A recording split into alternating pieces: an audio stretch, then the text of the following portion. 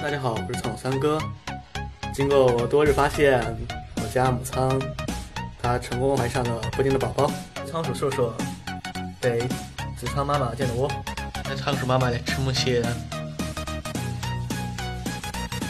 和窝里边的木屑的样子。我决定啊，还是扎养吧。那七只小仓鼠已经送给仓鼠硕硕养去了，他就用木屑养，我还是用我的卫生纸养的。